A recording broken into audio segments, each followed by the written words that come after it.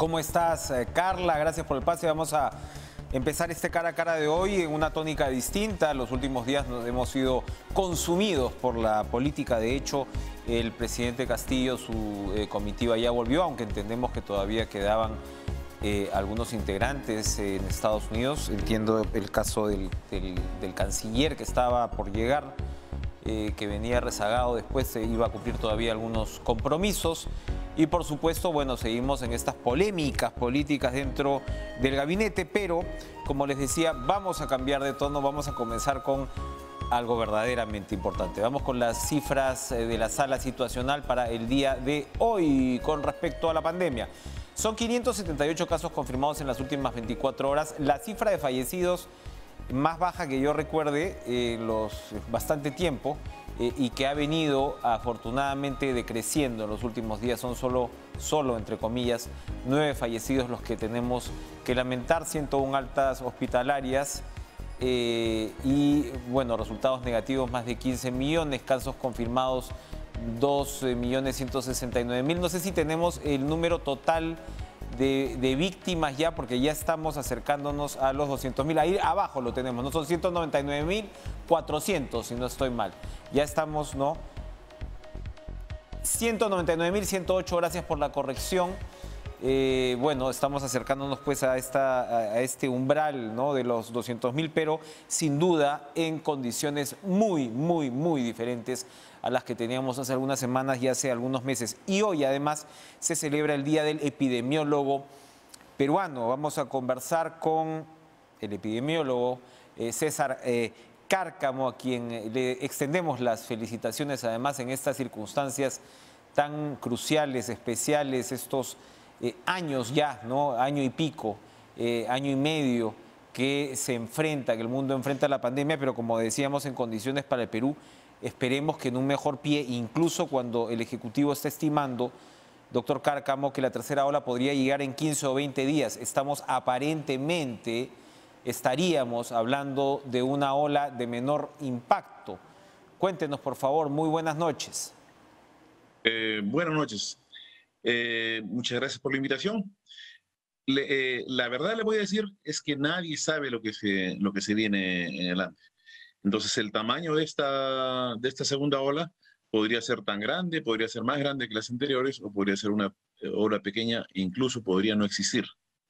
Y eh, esa es la verdad, no, eh, sabemos cómo, cómo se comporta el Perú, cada país se está comportando diferente, y la razón es, em, en buena medida, por el historial de infecciones que ya tienen. Entonces, nosotros hemos pasado ya por una tremenda primera ola, que básicamente se ha dispersado sin control, no hemos tenido eh, capacidad de controlarla, mientras que en otros países, eh, algunos que son islas, por ejemplo, fácilmente lo han controlado, otros que no son islas eh, tienen la posibilidad de, aislarse adecuadamente y bloquear las, las olas acá. La primera ola ha circulado prácticamente como, como en su casa, libremente. Hemos tenido una segunda ola en la cual hemos tenido una diferencia con otros países que es, ha habido esta variante lambda, que eh, circula en esta parte del mundo y que no ha circulado en otras partes del mundo en, la misma magnitud. Es posible que esta variante lambda nos confiera alguna inmunidad contra las nuevas variantes que están circulando, por ejemplo, la variante delta. De hecho, la variante delta ya ha ingresado al país hace varios meses y eh, no ha desencadenado una nueva ola como, como ocurrió, por ejemplo, en Israel. Entonces, no está pasando eso, ¿no? Eh, los, los, casos han estado bajando y bajando, a pesar de que ya había ingresado al país la, la variante eh, eh, la variante Delta. No, no sabemos, la verdad, no sabemos. Doctora, tengámonos un, un, un, minutito ahí porque es muy interesante lo que usted dice. Siempre somos conscientes, por supuesto, que estamos hablando en un terreno probablemente de, de, de, hipótesis, pero es muy interesante lo que usted sugiere aquí. Es decir, ya es, como sabemos, eh, eh, la Delta, corríjame si es que no es así, al parecer la predominante, eh, pero entonces podría darse en estas pandemias la posibilidad de que variantes de alguna manera den cierta inmunidad frente a otras variantes que llegan después, porque efectivamente la Delta eh, doctor, ha puesto de cabeza a, muchos países que realmente no le han pasado muy mal cuando pensaban que ya habían superado lo peor, incluso eh, países con niveles de vacunación más altos que el nuestro. Eso es bien interesante. Por supuesto, sin comprometerlo como una verdad eh, comprobada, se pueden dar estos escenarios entonces que una variante de alguna manera inmunice en algo sobre la que viene. Eh, claro, existe esa posibilidad, dependiendo, dependiendo de en qué parte se diferencian los dos variantes. Entonces, podría ser, digamos, que la llave que creamos para una de las variantes le hace también a la otra. Eso puede ocurrir, porque dependiendo de las partes que han mutado. Si es que muta por una parte, las diferencias están en una parte en que eh, los anticuerpos eh, neutralizantes no, no tienen nada que ver, entonces va a haber protección cruzada. La, la, la infusión con una variante nos protege contra la otra, pero podría ser que no. Y la verdad es que no lo, no lo sabemos. Lo, que podemos observar es que el Delta ingresó ya hace, hace buen tiempo acá, hace varios meses ingresó al Perú, es la variante predominante, pero en, un número bajo de, casos que tenemos actualmente. Está, usted ha revelado eh, ahora mismo las cifras y estamos realmente en un valle, estamos en una cantidad más baja. Desde marzo del año pasado no teníamos tan pocos casos, tan pocos eh, fallecidos. Entonces, no estamos, eh, ha tenido su tiempo suficiente para incubar Delta y para, y para estallar en una, una tercera ola, y eso todavía no ocurrió. Esperemos que nunca pase. Ahora, eso no significa que no haya tercera ola. Digamos que tenemos inmunidad contra Delta, eso no significa que no pueda venir una tercera ola con la variante Mu, ¿ok? O con la eh, variante Gamma o alguna otra variante nueva que, aparezca. La posibilidad de que venga otra, otra, otra variante y, y desencadenar una tercera ola todavía existe.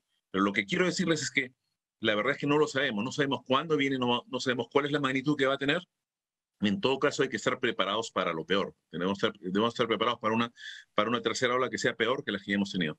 Claro, siempre, siempre hay que estar preparados en este caso para lo peor hasta que realmente esto pase prácticamente ya del todo o se estabilice o se normalice. Hay otro punto que usted acaba de tocar que es eh, que hablaba precisamente siempre no con la que no, no, son especulaciones, pero digamos que son hipótesis que seguramente tendremos la, la, realidad mucho más aterrizada, factualmente más aterrizada, cuando, cuando ya pase eh, todo lo peor de la, de la, de la pandemia, con, con digamos, este, verdades pues, científicas como tal, con hechos, mejor dicho.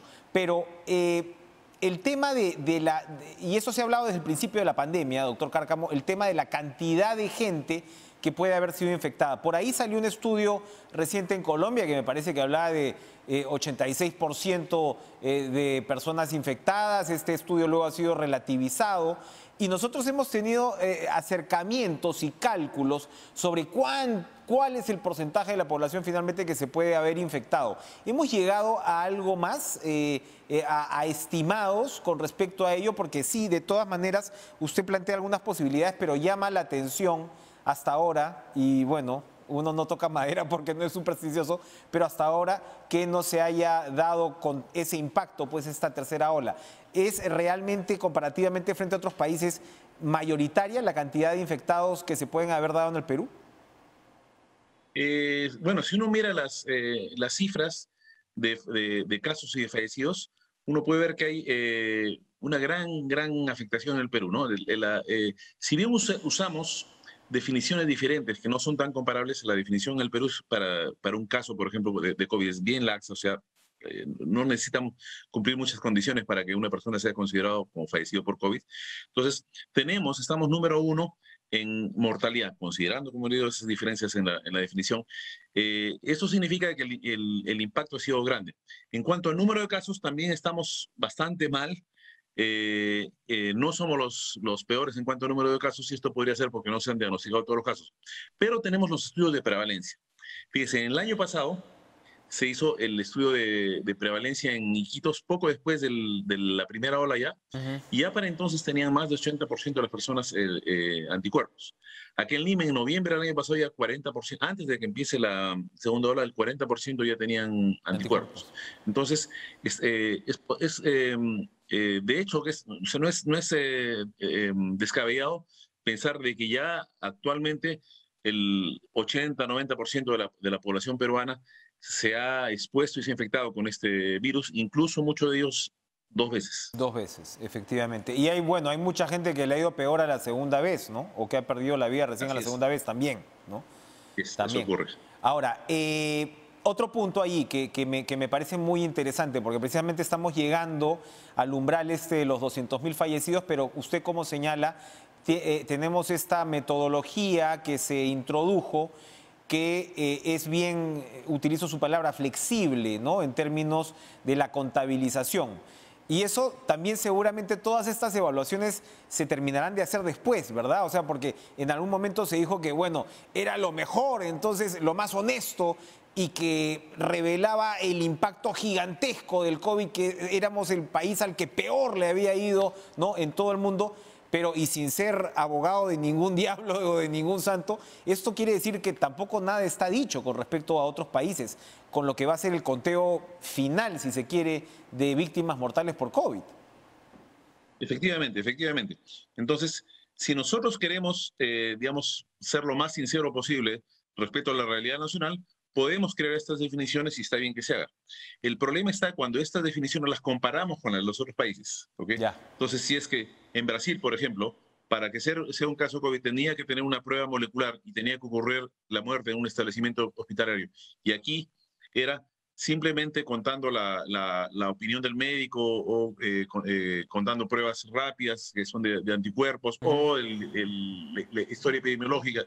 Entonces, de hecho, vamos a tener una cifra inflada con respecto a Brasil, o podría ser que Brasil, Brasil está subestimando con respecto a nosotros. El hecho es que tenemos diferencias que no son debidas a diferencias en el impacto de la pandemia, sino diferencias en la definición del caso. Nada más en eso. Entonces hay que tener cuidado con eso.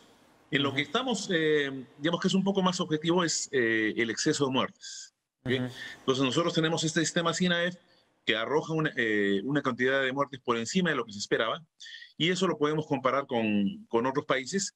Y en ese sentido, también estamos eh, mal. Y eso es lo que más me preocupa a mí, porque eh, eso es lo que indica más bien, si no tenemos, digamos, si no sobresalimos tanto en el número de casos, pero sí sobresalimos en mortalidad, lo, que, lo que eso nos está indicando que hay un indicador epidemiológico que le llamamos letalidad, que es el número de fallecidos entre el número de casos.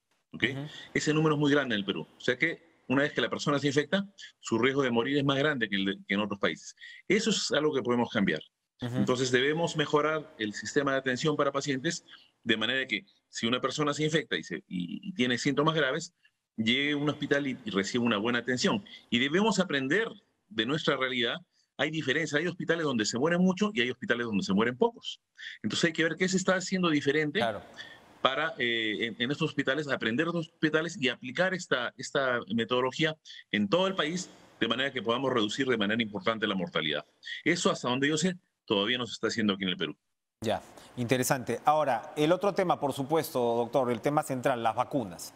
Eh, ahora acabo de leer que Estados Unidos acaba de eh, aprobar la dosis de refuerzo, en realidad, no más que la tercera dosis, la dosis de refuerzo para eh, adultos mayores con ciertas condiciones, en el caso de Pfizer. ¿no? Eh, acá todavía no se ha llegado a ese punto. Eh, ¿Va a ser necesaria eventualmente esta dosis de refuerzo según lo que estamos viendo? Por lo menos el próximo año vamos a tener seguramente que vacunarnos otra vez. parece que sí. La, evidencia está mostrando que sí. Vamos a tener, conforme pase el tiempo, vamos a tener cada vez evidencia más clara. ¿Ok? Pero hay, hay, hay este, algunos puntos a, ver. En Estados Unidos ya están prácticamente robando a, las personas que se, que se vacunen, no tienen escasez de vacuna. Aquí en el Perú todavía tenemos colas para vacunación y eh, adultos jóvenes que quieren vacunarse o, adolescentes que quieren vacunarse y todavía no, no les, eh, mm. no se les puede vacunar porque no hay dos. Entonces estamos en una realidad diferente, estamos en una realidad de escasez de vacunas y eso nos diferencia con Estados Unidos. ¿ok? Entonces debemos vacunar eh, tratar de, cubrir por lo menos con las dos primeras dosis a la mayor parte de peruanos, ¿ok? incluyendo los adultos jóvenes, pero además se, vuelve cada vez más importante el, grupo de personas que más riesgo de muerte tienen. ¿ok? Y entre los eh, de más riesgo eh, de muerte están, como en Estados Unidos, los mayores de 65 años, ese es el grupo que han autorizado, y también las personas que, están, que tienen gran exposición a casos. Y en el caso del Perú son los profesionales de, de la salud. Y posiblemente también bomberos, este, eh, policías que están exponiéndose más de la cuenta y que pueden, eh, pueden tener infección. Sé de casos de personas que han, médicos que eh, se han vacunado y a pesar de la vacunación se han infectado. y, algunos que están teniendo... Entonces, debería ponerse, digamos, la, prioridad, la mayor cobertura, por lo menos con las primeras dosis, las primeras dos dosis a la, mayor parte de la población, primero, y segundo, comenzar a la hora de, de, comenzar a administrar refuerzos, pensar en los grupos de mayor riesgo nuevamente. Como se vacunó al principio a los médicos y a las personas de la tercera edad, hacer nuevamente eso eh, pasados eh, seis meses después de la, de la primera vacunación. Un tema que le interesa muchísimo a la población y a la ciudadanía es el retorno a clases. Ya se sabe y estamos hablando mucho de la vacunación eh, a los profesores. Hoy tuve la oportunidad de tener una conversación con el ministro Cadillo, están avanzando por ese lado. Pero bueno, de hecho, pues a los, a los adolescentes, como usted señala, y a los niños no se les ha vacunado todavía. Eh, ¿Qué experiencia, qué observación podemos ver a partir de otros países con el retorno a clases en el caso de los alumnos? Entiendo yo que los colegios que han podido retornar a clases acá, los casos han sido mínimos, pero ¿cómo se está dando esto? Porque finalmente es una población que no está vacunada. Así es. Bueno, en el, en el resto del mundo ya se está comenzando a, vacunar niños, ¿no? Empezaron ya hace, hace varios meses a vacunar niños a partir de 12 años pero ya se ha comenzado a vacunar niños eh, más jóvenes. En China ya se ha aprobado eh, la, vacuna, la seguridad de la vacuna Sinopharm en niños de a partir de tres años de, edad. ¿No? En Chile también se están vacunando eh, niños más pequeños, entonces estamos avanzando hacia eso.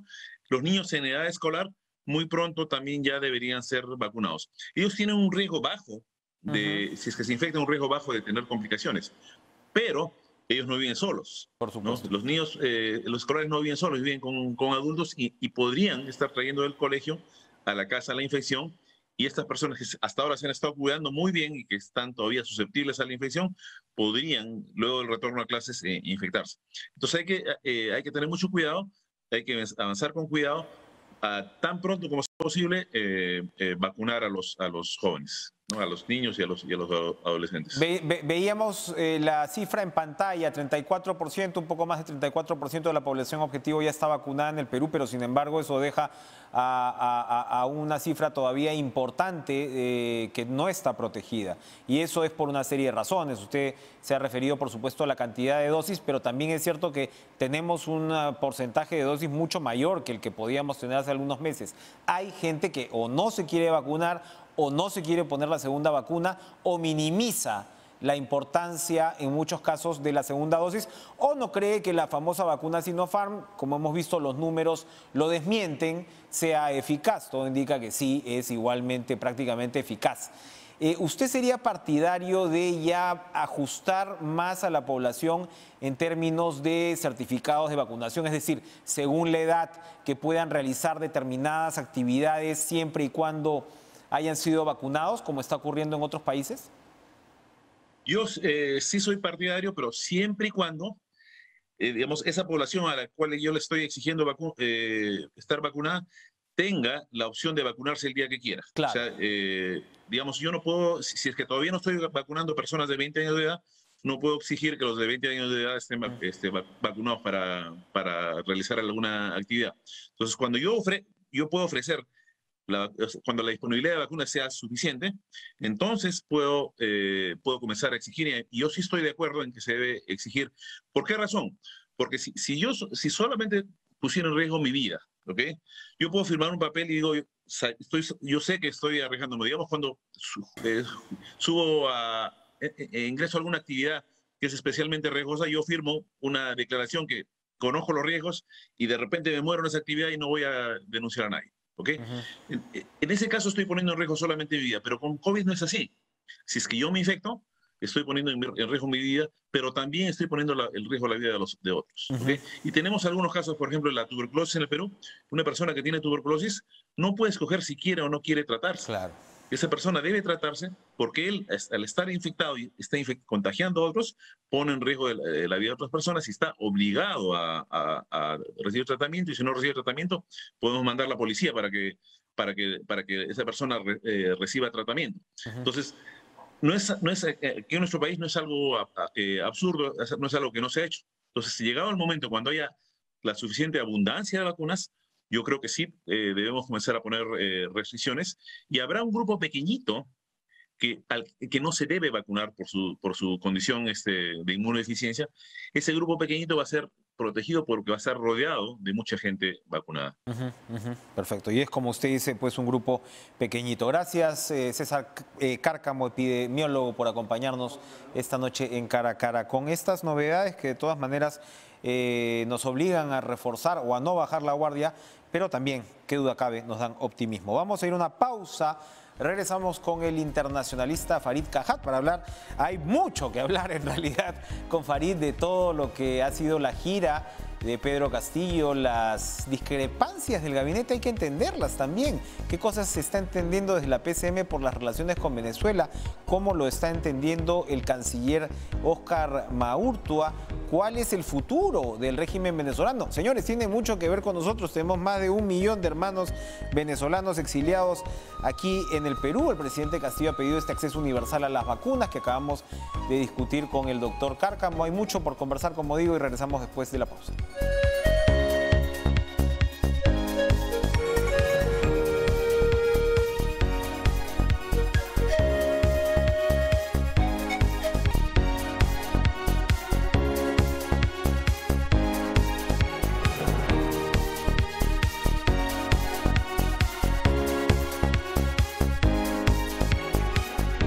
Interesante por muchas razones ha sido la gira del presidente Pedro Castillo por México y, dos enclaves, por supuesto, estadounidenses globales, ¿no? como son Washington y Nueva York, eh, OEA y Naciones Unidas, porque eh, se ha visto desde un lado, desde fuera, pues bueno, un rebalanceo de poderes eh, del cual vamos a hablar, pero también en lo inmediato complicaciones en la política exterior peruana, o mejor dicho, controversias o disonancias, que es lo primero de lo cual vamos a conversar con Farid Cajat, internacionalista, doctor en Relaciones Internacionales, Teoría Política y Política Comparada. Farid, gracias por estar con nosotros, porque, a ver, lo que, eh, por lo que se, eh, digamos, la diferencia que ventiló el primer ministro Guido Bellido es en el momento que el vicecanciller Luis Enrique Chávez, casi mi homónimo, señaló que eh, desde el 5 de enero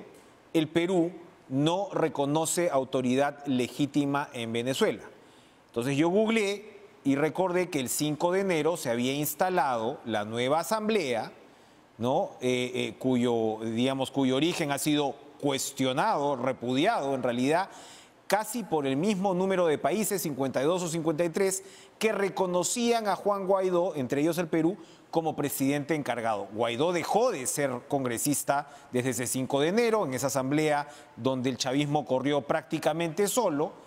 Y bueno, entonces, claro, así entiendo la línea de Torretagle, de decir, bueno, antes reconocíamos a Guaidó como presidente encargado, ahora ya no lo podemos hacer, no hay una autoridad legítima y vamos a apoyar los esfuerzos para a ver si se puede pues, llegar a una transición democrática.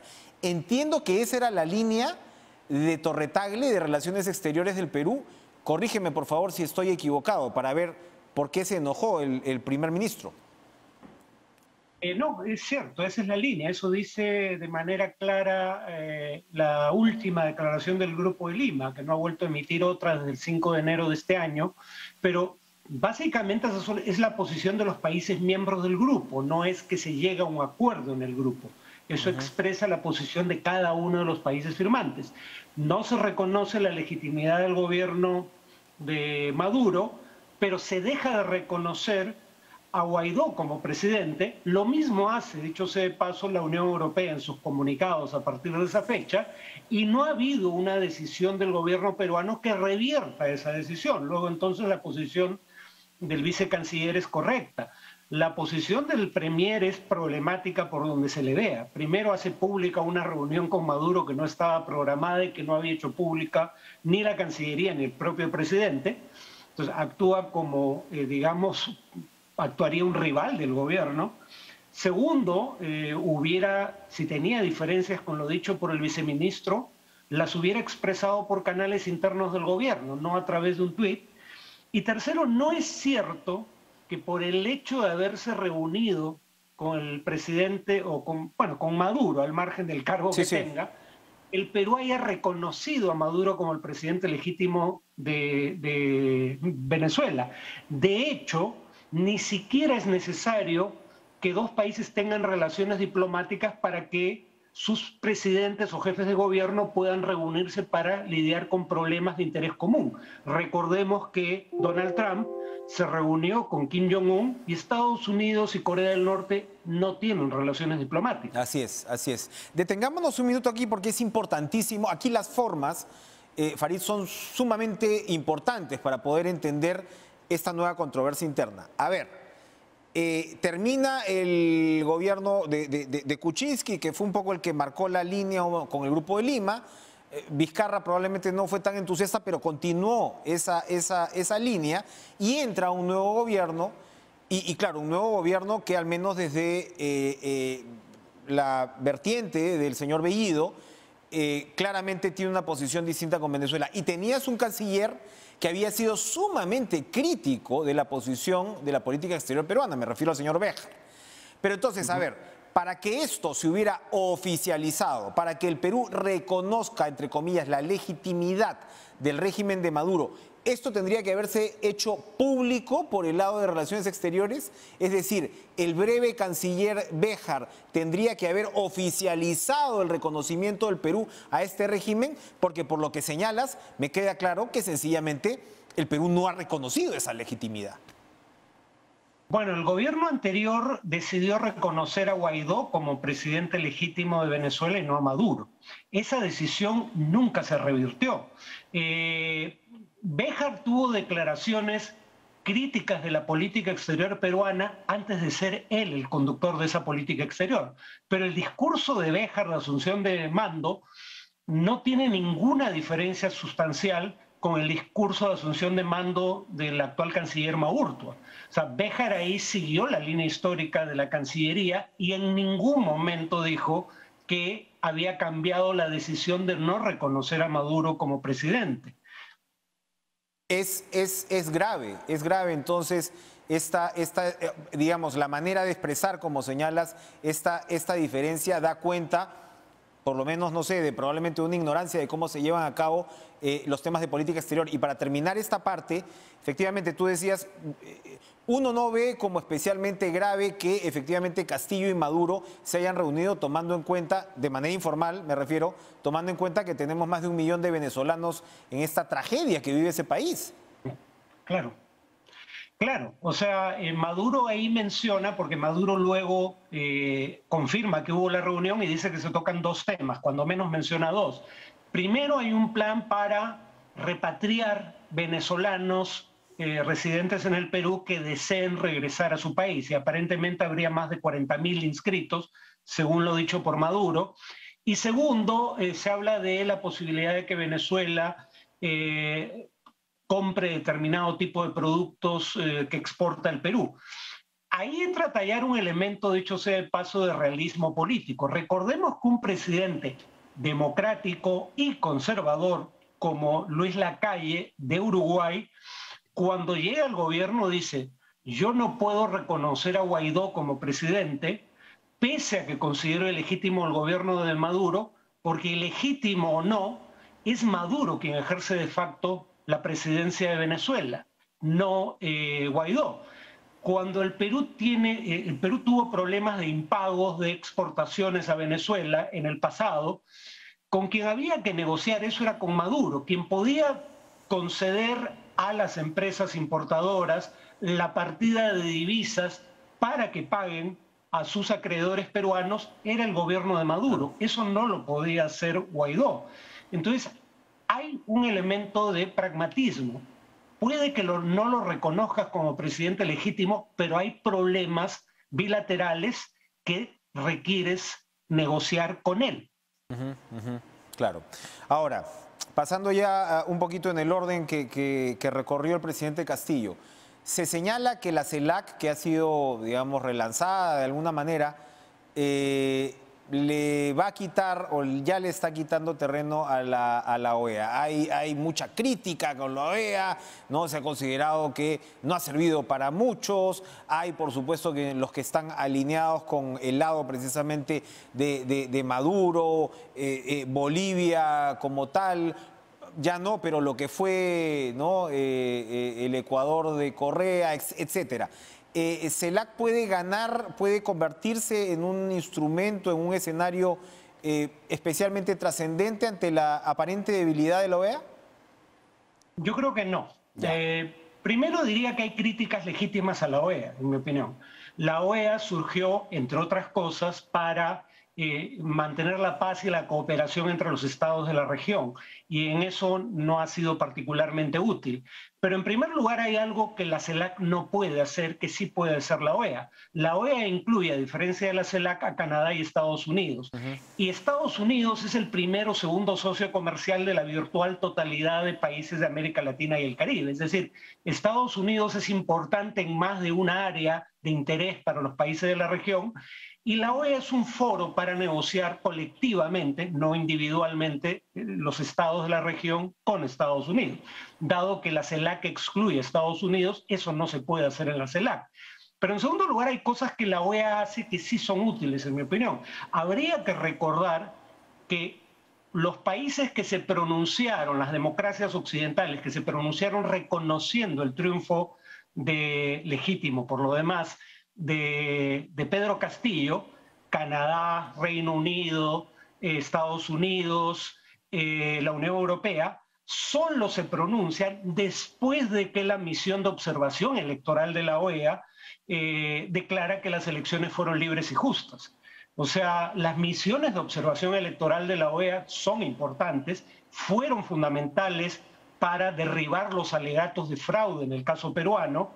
Eh, el sistema interamericano de derechos humanos es útil, la comisión que es parte de la OEA y la Corte Interamericana que deriva del Tratado del Pacto de San José, la relatoría de, digamos, de libertad de expresión de la OEA, eh, la Carta Democrática Interamericana, que la primera vez que se invocó fue en contra de un golpe de Estado conservador contra un presidente de izquierda en Honduras. No fue una carta concebida contra el chavismo, como algunos querrían hacer creer.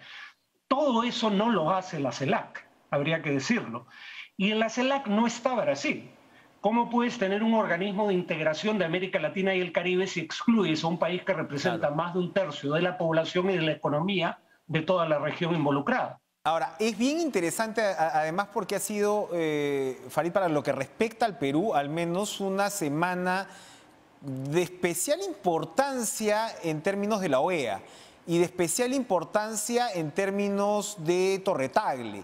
¿no? O sea, un, gobierno que, como tú señalas, finalmente fue, su elección fue reconocida ¿no? por, toda, por toda esta comunidad internacional, pero al mismo tiempo es un gobierno que carga dentro de sí mensajes contradictorios y hay controversias y hay claramente al menos dos tendencias. Y al parecer, al menos, eh, eh, el, canciller de la República se ha encargado con, con la discreción ¿no? que algunas veces tienen los diplomáticos de poner ciertos puntos sobre las sillas y de subrayar varios temas. Acabas de mencionar la Carta Democrática y no solamente eh, sino Harold Forsyth, con quien conversamos hace unos días, también se encargó de, remarcar la importancia de, eh, digamos, la participación ¿no? del Perú en la Carta Democrática o el patrocinio con la Carta Democrática o el reconocimiento de la Carta Democrática a sus 20 años. El embajador Maurtua al toque reaccionó con este proyecto de ley que muchos consideraban podía ser una amenaza a la libertad de expresión y lo hizo también dentro de este contexto de este viaje internacional. Y tú bien recordabas la Relatoría de Libertad de Expresión de la OEA que ha tenido momentos también importantes. Entonces, eh, interesante, ¿no? E, esa, esa recalibración por el lado de relaciones exteriores, ¿no? Es, es como una voz institucional que te enmarca al país en momentos donde algunos no están seguros, ¿no? Sí, bueno, la Carta Democrática Interamericana se aprobó en Lima. Así es. El fatídico 11 de septiembre de 2001 y fue aprobada en Lima precisamente como un reconocimiento a la necesidad de prevenir fenómenos como el Fujimorismo, que subvierten el sistema democrático desde dentro. ¿no? Y fue suscrita por Hugo Chávez, habría que decirlo. O sea, no se puede alegar que fue creada contra algún tipo de, contra algún gobierno particular o contra una orientación política particular. En el tema del pronunciamiento de Cancillería sobre este proyecto de ley de medios, yo creo que el ala izquierda, digamos, de Perú Libre está en contra de todo lo que acaba de ocurrir durante la gira y parece ser un intento de sabotaje deliberado. ¿No? El, el tuit de, del Premier, el proyecto de ley de medios, eh, muy mal redactado, por cierto, pero además temas que ya venían de antes, como el tema de eh, la convocatoria de una asamblea constituyente, porque no puede decir, y eso habría que ser claro, el presidente Castillo que en el Perú hay reglas claras y estables de juego para la inversión privada si estás proponiendo cambiar la regla fundamental, que es la constitución. Eso quiere decir que estas reglas son provisionales y estarían en proceso de cambio. Eh, ahí sí no se puede decir que eso se haya hecho contra Castillo, porque él lo propuso.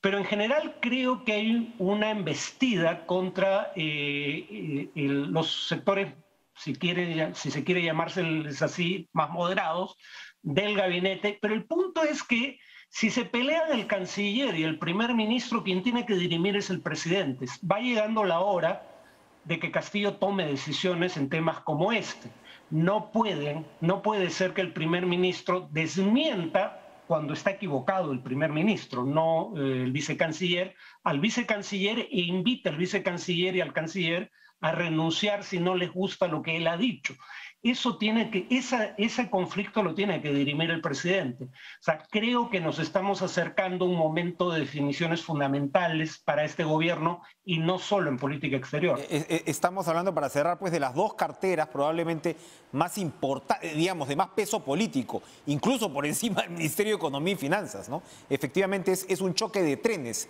el que, el que describes y eso no, no se va a quedar así, no se puede quedar así. No, y además la Cancillería, habría que decirlo, es eh, una de las eh, burocracias públicas eh, más profesionales, mejor formadas. por eso tiene peso específico ese ministerio, ¿no? no tanto por las funciones o el presupuesto que maneje. Así es, y, hay que decirlo afortunadamente. Gracias, gracias Farid Cajat por acompañarnos esta noche. Vamos, vamos a ir a una pausa. Pero regresamos con, eh, desde La Libertad con Luis Camiche, congresista de la bancada de Perú Libre, presidente de la Comisión Especial TC del Congreso. vamos vamos a, volver con el congresista Balcázar. Regresamos.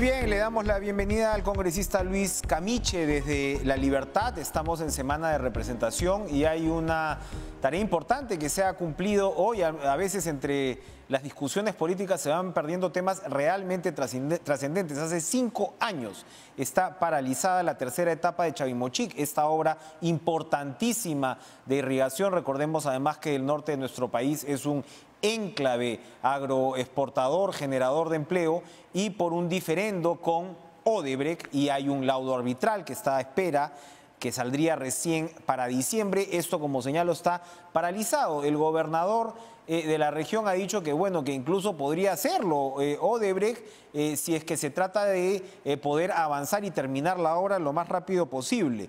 Luis Camiche, como digo, congresista de la bancada de Perú Libre, es, está entre quienes, entiendo, han visitado estas, estas instalaciones que, por supuesto, pues es, despierta la indignación, me consta, de buena parte de la población liberteña y nos va a comentar para empezar, eh, eh, pues eh, de primera mano, qué es lo que ha visto y cómo se puede salir de este problema. Congresista Camiche, gracias por estar con nosotros. Buenas noches. Buenas noches, gracias por la entrevista. Bueno, cuéntenos cómo, cómo salir del embrollo de Chavimochic.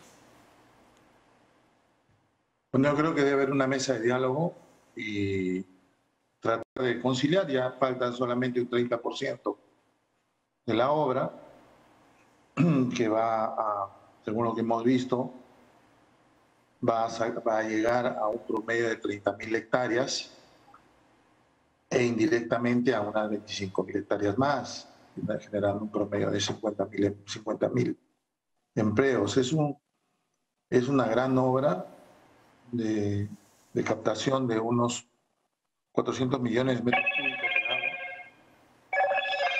Y este, pues esperemos, esperemos que se llegue a buen fin, porque eso es lo que le hace falta al país, ¿no? Reactivar el agro y obras de esta envergadura. La, mesa de diálogo en este caso tendría que, incluir a la, a la, empresa, o sea, la idea sería salir del diferendo lo antes posible. Claro, la mesa de diálogo sería el Ejecutivo, el Ministerio de Agricultura y la empresa de servicio, ¿no? la empresa prestadora. ¿Cuál es la, la actitud, la predisposición del concesionario para poder sentarse a conversar? ¿Sabe usted? Es el mejor de todos, tienen mucho ánimo a conversar con, con el Ejecutivo o, quien este, se designe para llegar a buen término con esta obra. Y cuéntenos rápidamente, ¿en qué se basa el, el, el, diferendo, el laudo? ¿Cuál es el reclamo? Lo que pasa es que ha habido un tema ahí, estamos en un laudo, se va a definir en noviembre por un tema de, pues, Odebrecht, ha habido unos cambios de, de concesionarios y los cuatro gobiernos, la falta de decisión por este quinquenio, han habido cuatro administraciones en un quinquenio y no se ha podido llegar a un acuerdo, una obra paralizada por cinco años. Y la mayor premura es de que haya un fenómeno del niño. Claro. Ingresen volúmenes de agua que puedan hacer daños irreversibles a la obra, ya que no, no está impermeabilizada todavía. Bien, bien. Bueno, sí, precisamente son temas importantísimos, congresista, que a veces se pierden, como decíamos, en controversias eh, y en tensiones políticas que en este caso también hay que llamar la atención, vienen dentro del mismo gobierno. ¿Cómo observa usted este impasse evidente entre Cancillería y la presidencia del Consejo de Ministros? Lo acabamos de conversar con Farid Cajat, en realidad la naturaleza de, lo que es eh, eh, la relación, el reconocimiento o no de un régimen como el de Maduro y cuál es la línea de la política exterior peruana. ¿Cómo se sale de esto? Con diálogo, con concertación. Yo creo que pueden haber diferentes puntos de vista, pero eso no puede conllevar a, un quiebre, ¿no? Somos personas adultas, profesionales. El hecho de que compartamos diferentes conceptos no quiere decir que eso nos lleve a una ruptura de, conversaciones o un alejamiento, ¿no? Simplemente son criterios que a través de un diálogo se, van a solucionar. Ahora, el, el, Premier le ha dicho al, canciller que si, que si no le gusta tiene la puerta abierta. Eh, faltaría también disposición de diálogo, ¿no? Por ese lado. Sí, a veces hay malentendidos y pues el teléfono malogrado, ¿no? Mientras no haya una, este, una conversación directa, yo creo que ahí se van a limar las perezas y, y todo bien, ¿no? Bien. Ahora, eh, congresista, eh, ahorita hemos hablado, por ejemplo, con el tema de Chavimochic, de, un ángulo distinto de la, de la noticia, pero ahora último, ¿no? los temas asociados a su bancada han tenido que ver con el tema eh, bueno, de la Asamblea Constituyente, con el tema del proyecto que muchos han considerado, digamos, nocivo para la libertad de expresión, lo que acabamos de conversar. ¿Cuál es para usted la agenda que debería tener la bancada de Perú Libre, que finalmente es la bancada del Ejecutivo, ¿no? Eh, en cuanto a la agenda de la bancada de Perú Libre, está a cargo del señor Valdemar Cerrón, que es el vocero. Él ya nos llamará luego de la semana de representación y haremos un diálogo y haremos juntos la agenda. ¿no? Ya el vocero el señor Valdemar Cerrón, junto con el vocero alterno, el señor Elías Varas, y nuestra compañera Silvana, que es la segunda voz alterna, nos les comunicará. ¿Y cuáles son los temas que para usted deberían ser priorizados? Hay muchos temas que son priorizados, ¿eh? que deberían ser priorizados. Eh, la falta de recurso hídrico a nivel nacional, eh, la reactivación de la educación. Tiene una reunión con el ministro Cadillo, una persona muy amable, y pues el retorno a clases presenciales se tienen que dar en tiempo y forma, teniendo en cuenta las infraestructuras algunos colegios en las zonas rurales, ¿no? Y bueno, y las vacunas. Por supuesto. ¿Y, y, en, eh, eh, ¿cómo, ¿cómo, observa el, el, procedimiento de elección de los miembros del Tribunal Constitucional? Ayer hemos lamentado el fallecimiento de uno de ellos y hay quienes señalan que se están cambiando las reglas de juego, que se le está dando un peso demasiado exagerado, por decirlo así, a la entrevista personal, lo que le daría mayor discrecionalidad al Congreso cuando lo que hay que hacer es elegir a los magistrados pues más probos, más libres de cualquier tipo de sospecha, de vinculación política. ¿Cómo observa ese proceso? ¿Cómo está avanzando en el Congreso? Yo creo que en esa comisión hay miembros como el compatriota Balcázar, una persona de muy buena trayectoria, con muchos valores, y está tomándose su tiempo porque es un tema muy delicado. No todos los días se eligen a miembros del Tribunal Constitucional y creo que está llevando las cosas de la mejor manera, sin apresuramientos y en un aspecto técnico. Es lo mejor que puede hacer. Perfecto. No, no, no puedo terminar esta entrevista sin, sin, preguntarle de todas maneras algo que puede resultar anecdótico, pero que ha tenido mucho rebote en los medios. Eh, eh, una de sus, de sus colegas, eh, la congresista Agüero, me parece Arequipa, ha señalado que, que, que el sueldo no le alcanza, porque hay una, una iniciativa incluso que ha salido de Perú Libre eh, para reducirles el sueldo al presidente y a los congresistas. ¿Hay una opinión, eh, digamos, formada dentro de la bancada respecto de qué hacer frente a, ese proyecto de ley y en todo caso lo que ha declarado la congresista? Según lo que yo he visto que ha declarado la compatriota Agüero, eh, no va por ese lado, ¿no? Ella dice de que de reducirse los sueldos no le alcanzaría por la magnitud de su trabajo operativo. La verdad, yo no he hablado con la compatriota Agüero, yo tendría que escuchar su versión, es lo que yo he visto en los medios, lo que le acabo de comentar, y bueno, después de la semana de presentación hablaré con ella. Ahora, lo que diga la bancada a través del vocero, pues este, será a través de una reunión que la llevaremos a cabo la próxima semana. Perfecto, estaremos entonces pendientes de los resultados de esa reunión. Luis Camiche, congresista de la bancada de Perú Libre, gracias por estar con nosotros. Vamos a una última pausa y regresamos.